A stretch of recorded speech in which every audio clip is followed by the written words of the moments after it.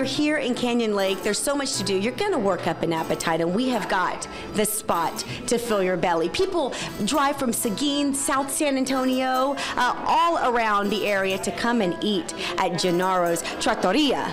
Did I say that right? That's perfect. Okay, this is Armando DeMeo. He is the son of Gennaro, who is the guy who started it all. Oh, we have uh, recipes handed down from three generations. Um, we pride ourselves in uh, fresh, authentic food with uh, great customer service and uh, comfortable atmosphere. So your dad is the mastermind behind all of this. So these are all his recipes. All his recipes. Has he tried to teach you all of these recipes? He's done his best. He's done his best. Uh, and I try to do my best as well. No matter who we have, it just can't amount to what he does. So Yeah. Um, that's why he's still here, and that's why we're still in business.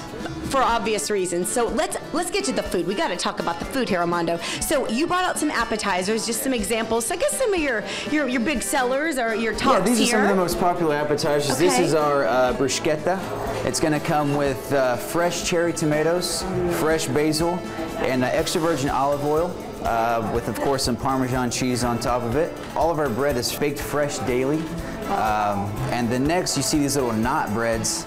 Um, the little guys I want to eat. the little guys, yeah. Yeah. Those are made out of our pizza dough.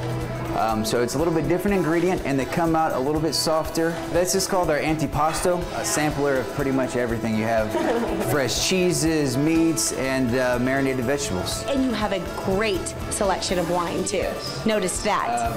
We try to keep everything imported from Italy. These are the two most popular, Chianti and Pinot Grigio. These two actually pair well with the majority of our food that we have here. Speaking of the majority of the food, I want to see the big kahuna. I want to see some of these main dishes.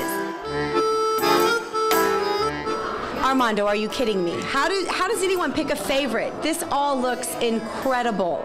Well, that's uh, that's a decision people have to make, and it, oftentimes it's pretty difficult with uh, with these uh, great options that we have here. This is an eggplant Ana Maria, and basically what that is, it's a breaded eggplant stacked with mozzarella cheese, prosciutto, and uh, spinach, and a roasted bell pepper sauce. Gambari portobello. It uh, comes with three jumbo stuffed shrimp with crab meat.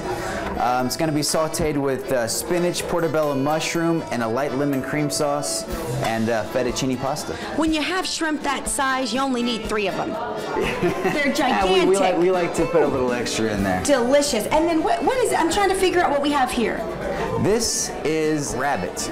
Um, it's very rare and very authentic to uh, southern Italy. Um, we put it with a side of uh, rigatoni pomodoro, and it's uh, it's very tender. Lastly, this is our lasagna emiliana. It's going to come with mushrooms, broccoli, and grilled chicken, with four layers of lasagna and our homemade rosé sauce. I'm speechless. This all looks just wonderful. We want everyone to come out because this, again, it really doesn't matter where you live. It is worth the hour, the two hour drive to come and try some of Thank this you. It authentic Italian food. Three generations. Three generations. Your family's been cooking it, these recipes. And Armando's, he's going to get all of them down at some point. Thank you for having us. And Thanks we're gonna, coming by. We're going to need to sample now. I think we Is that do that. okay? Yeah, I think Okay, because everyone's mouths are watering lottery.